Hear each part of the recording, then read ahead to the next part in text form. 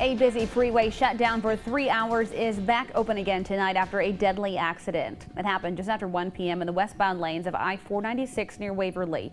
Police tell us a driver crossed the median and hit another driver head on. Officers say a 66-year-old man from the Kalamazoo area was pronounced dead at the scene.